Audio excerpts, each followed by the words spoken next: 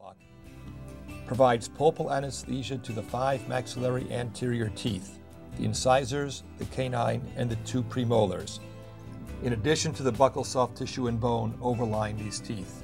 The skin of the lower eyelid, the lateral side of the nose, and the upper lip is also anesthetized. For a right or left ASA nerve block, the right-handed operator should sit at the 10 o'clock position facing in the same direction as the patient. The infraorbital foramen is palpated and the lip is retracted.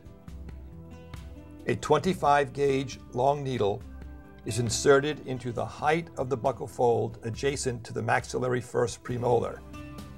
The needle is held parallel to the maxillary bone and inserted until bone is contacted at the roof of the infraorbital foramen. After two negative aspirations, one half to two thirds of a cartridge of local anesthetic is deposited over 30 to 40 seconds.